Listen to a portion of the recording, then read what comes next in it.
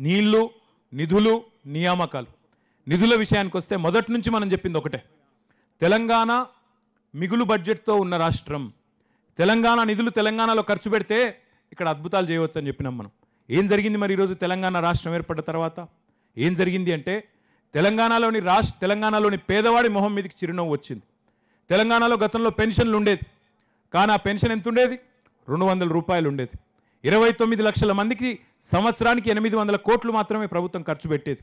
ఈరోజు తెలంగాణ వచ్చిన తర్వాత రెండు వందల రూపాయల పెన్షన్ మీ తాతని అడిగినా మీ అమ్మమ్మని అడిగినా నాయనమ్మని అడిగినా చెప్తారు మీకు.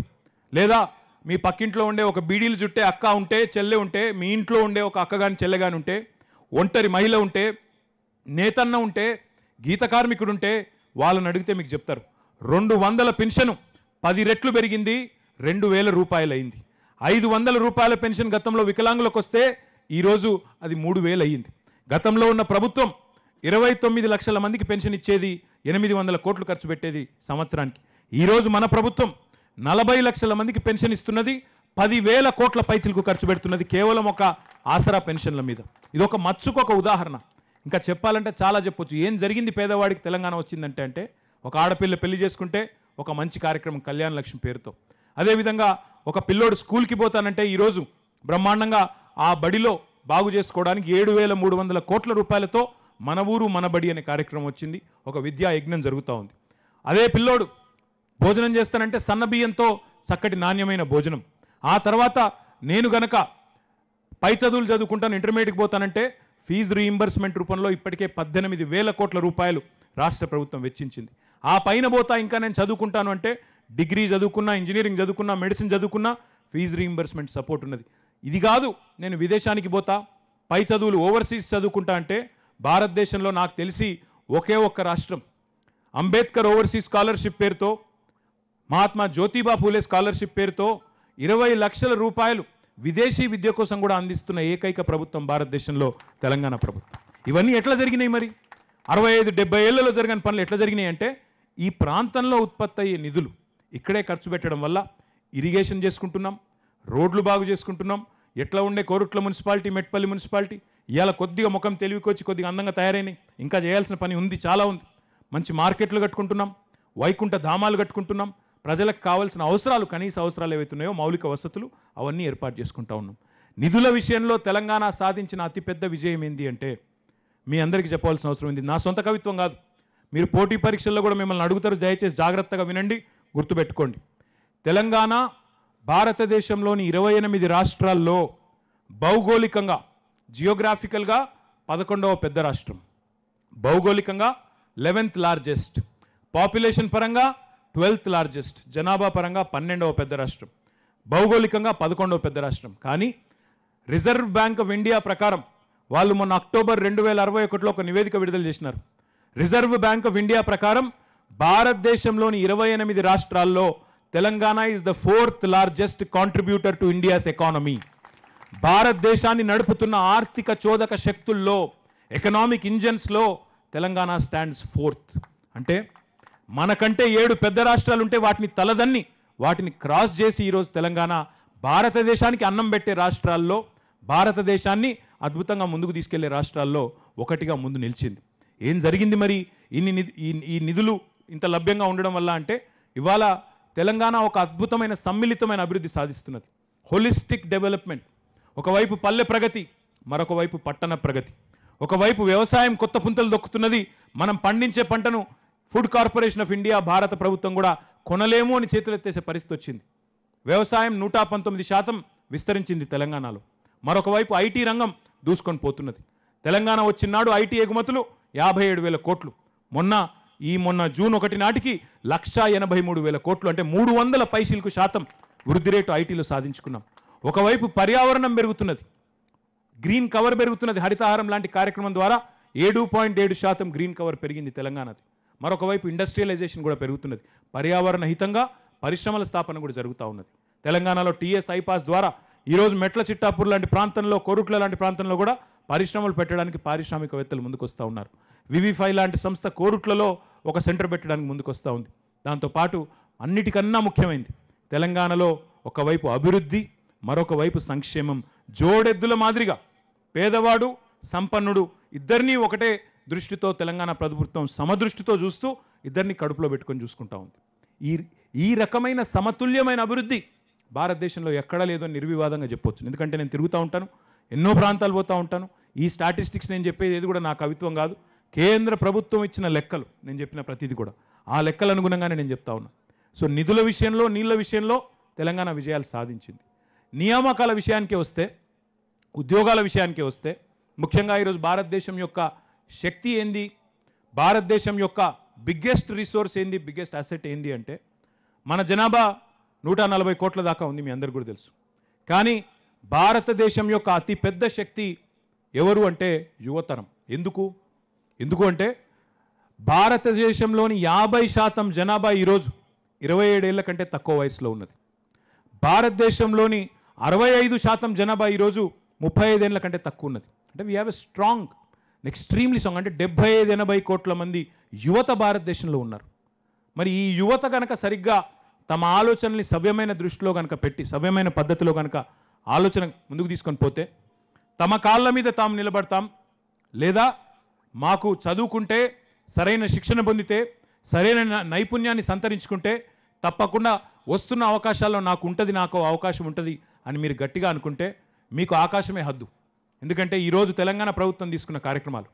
ప్రభుత్వ రంగంలో తెలంగాణ ప్రభుత్వ కొలువుల్లో ఇప్పటికే లక్ష ముప్పై రెండు వేల ఉద్యోగాలు భర్తీ చేసుకున్నాం. ఇప్పుడు మళ్ళీ మీకు తెలుసు మీరు అందరు ఇక్కడ ఎందుకున్నారో? ఒక తొంభై వేల ఉద్యోగాలు మళ్ళీ మొన్ననే ప్రకటన వచ్చింది. వాటి శిక్షణ కార్యక్రమం ఈరోజు మరి మీ ఎమ్మెల్యే గారు మీ సంజయ్ గారు ఈరోజు ఈ ఉచిత శిక్షణ కార్యక్రమాన్ని కూడా మీకు పెట్టి మొత్తం మూడు వందల యాభై మంది పిల్లలు ఇప్పటికే రిజిస్టర్ అయినారని చెప్తున్నారు. రాబోయే మూడు నెలల పాటు దయచేసి ఆ సెల్ ఫోన్లు పక్కకు పెట్టండి. ఆ సోషల్ మీడియా తక్కువ చూడండి. ఆ వాట్సాప్లు ఫేస్బుక్లు ఇంకా మిగతా ఏమున్నాయి? ఆ ఇన్స్టాగ్రామ్లో. ఏం చూస్తారు ఇంకా మీరు? ఏమిటిది? ఇన్స్టానా?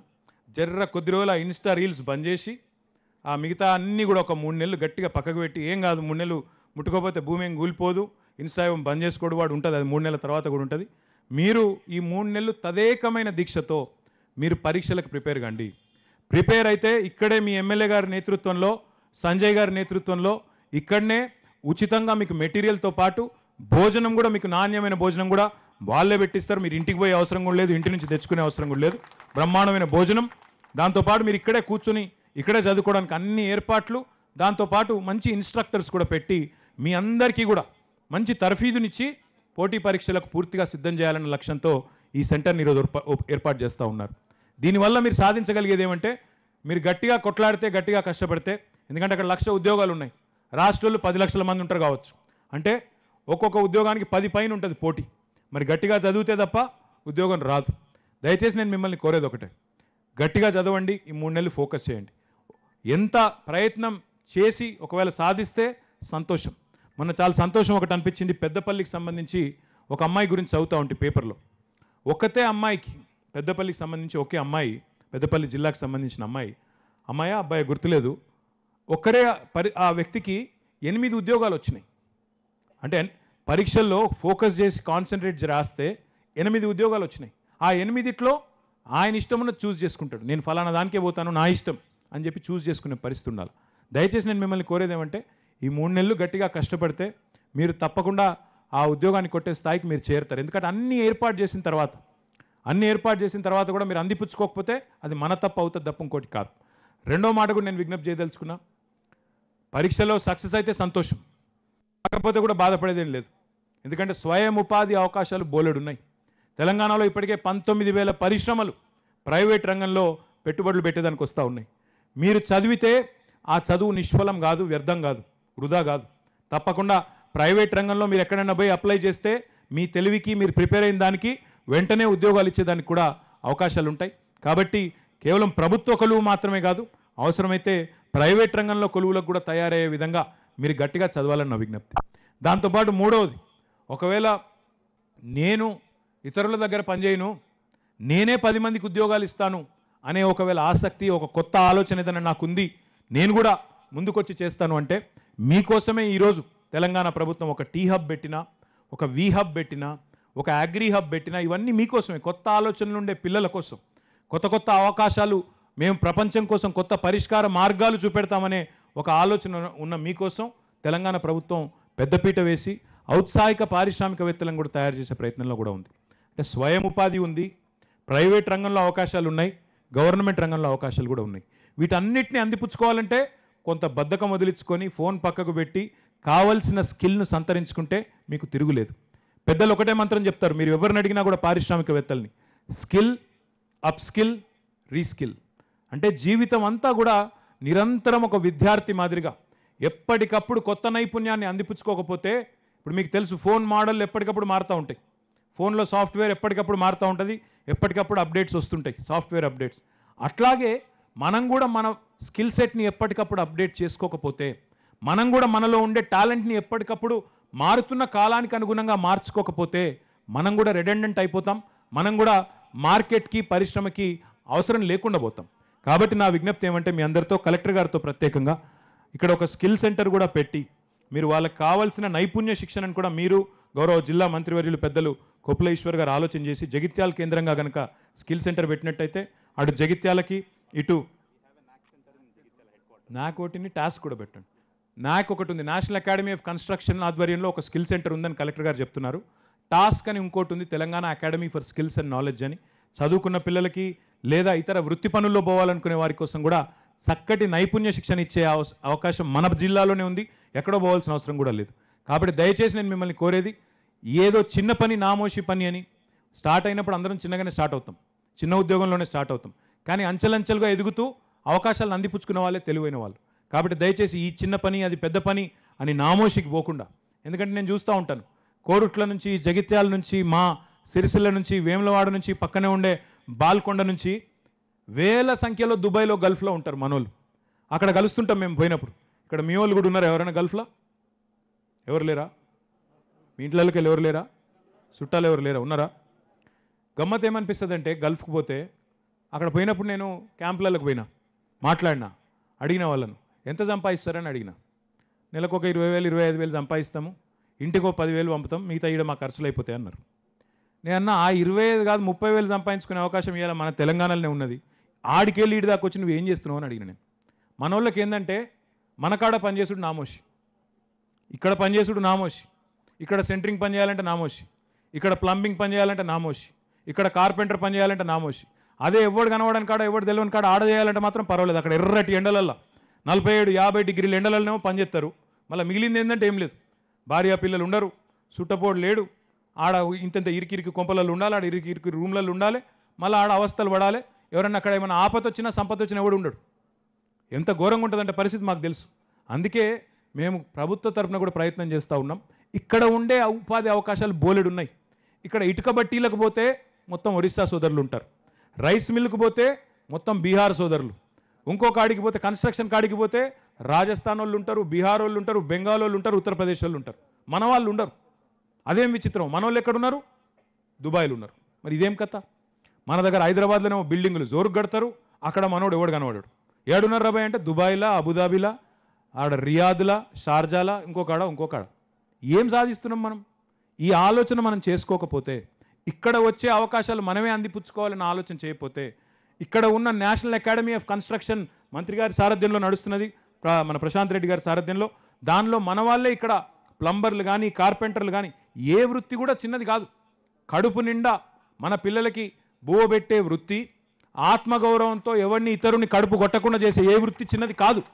అంతేగాని నామోషిగా ఫీల్ అయ్యి మనం ఇది చిన్న ఉద్యోగం అది పెద్ద ఉద్యోగం వేరే కంట్రీ ఫారెన్ అట్లా కాదు. మనం ఉన్న కాడనే భార్య పిల్లలతో చక్కగా పనిచేసుకునే అవకాశాలు ఉన్నప్పుడు ప్రభుత్వం ఇన్ని అవకాశాలు కల్పిస్తున్నప్పుడు దయచేసి ఈ ప్రాంతంలోని మా సోదరులు కూడా ఆలోచించాలని విజ్ఞప్తి.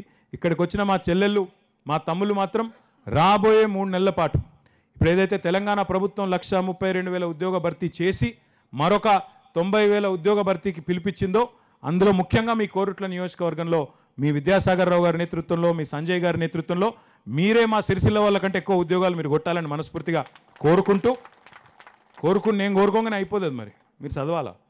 మీరు చదవాలా? మీరు ఇప్పుడే ప్రశాంత్ రెడ్డి గారు గుర్తు చేస్తున్నారు నాకు.